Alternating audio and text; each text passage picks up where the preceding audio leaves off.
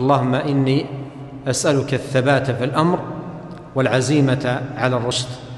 وأسألك موجبات رحمتك وعزائم مغفرتك وأسألك شكر نعمتك وحسن عبادتك وأسألك قلبا سليما ولسانا صادقا